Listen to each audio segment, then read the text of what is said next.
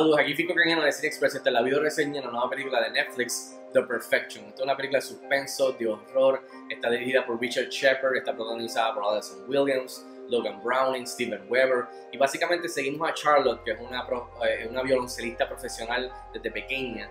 Eh, y va a esta escuela exclusiva en Boston de música, es la número uno de la escuela. ¿Qué pasa? Tiene que parar en seco y dejar todo para regresar a la casa a encargarse de su madre que tiene una enfermedad bien seria. ¿Qué pasa? Diez años después, si no me equivoco, eh, su madre falleció y ella trata de, entrar en contacto nuevamente con los que corrían ese, ese colegio. Así que viaja a Shanghai para empatarse con ellos y allí encuentra y, se, conoce por fin a Lizzie, que es la número uno actualmente del colegio, que fue la que la reemplazó a ella cuando eran pequeñas.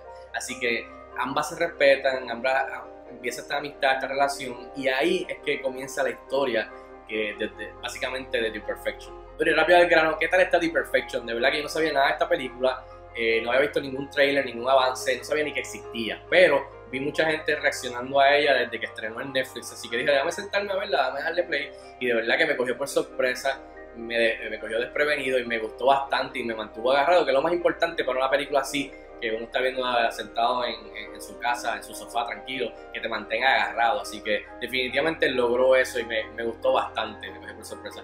Entre las cosas positivas, definitivamente las dos actrices, el, cast es buenísimo, pero las dos actrices, eh, Alison Williams y Logan Browning, de verdad que hacen de las dos violoncelistas que son, eh, comienza como una muy competitivo, pero después hacen esta amistad y por ahí pasan después mil cosas que no puedo contarles. Este, así que sobrevenden el guion, hacen un buen trabajo, las personalidades que le dan a cada uno son como el yin y el yang y se llevan muy bien y el, el back and forth entre ellas me gustó mucho. Este, otra cosa que me gustó mucho también es que es una película divertida que te mantiene, te mantiene on your feet. O sea, tú piensas que va por este lado y de repente se va por este. Entonces, a mí me gustan esas películas que tú piensas que, ok, pues esta película es así y de repente brinca este, para otra situación o otro local o se cruzan los personajes o incluso brincan de género. Eh, y a mí me gustan esas películas si lo hacen muy bien. Esta película lo hace bastante bien, así que my props a, los creadores.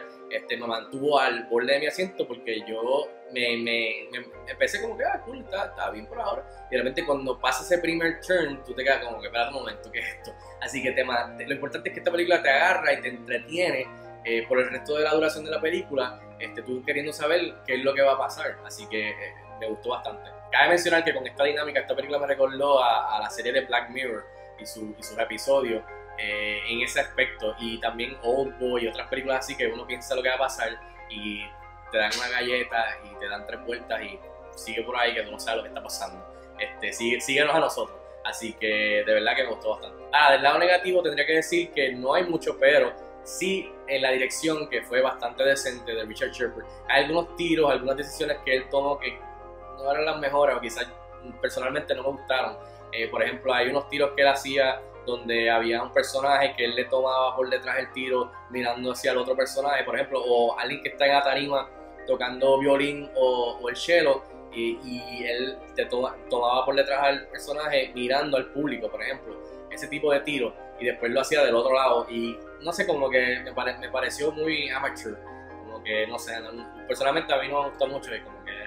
Y entonces otra cosa es que hay un, instrumento que usan con la línea del tiempo que me pareció bastante charro e innecesario.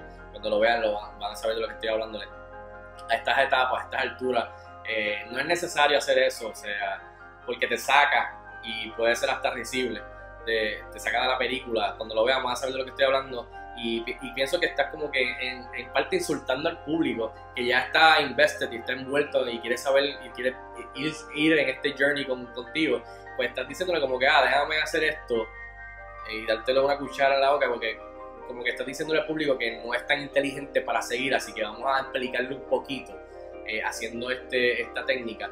Eh, y me pareció, puede ser hasta un poco insultante al público, como que en serio, no necesitas hacer eso eh, ahí puedes cortar este, bastante de la película para poder mantener las cosas moviendo. Así que eso sería todo. En fin, yo le doy 3 estrellas de 5 estrellas a The Perfection. Esta película está en Netflix ahora mismo. Creo que es una de las pequeñas sorpresas del año. Así que si no sabes nada de ella, mejor todavía siéntate, dale play, mírala. Déjame saber si te gusta y si estás de acuerdo conmigo. Así que escríbeme en los comentarios como te costumbre. Y recuerda suscribirte a este canal de YouTube para más videos de reseñas como esta. Dale a la campanita de las notificaciones. Y recuerda que también puedes apoyarme en patreon.com slash Hasta la próxima.